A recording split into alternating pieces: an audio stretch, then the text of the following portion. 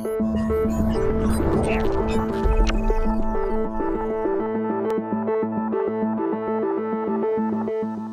name is Neha Satak and I'm the co-founder and CEO of Astrome Technologies.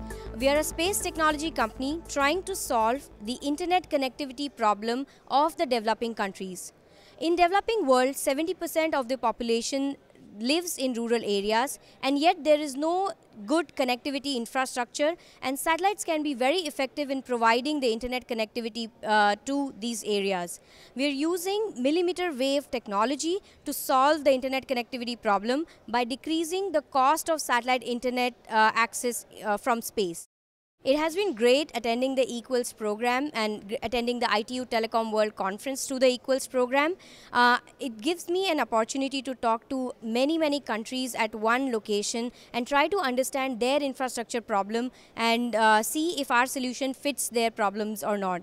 And what we found was that most countries have similar problems when it comes to rural connectivity and remote uh, connectivity. It was great meeting a lot of like-minded people. So I have got in touch with a lot of relevant people with whom we can partner in the future so that our solutions can solve problems in not just one country but many countries.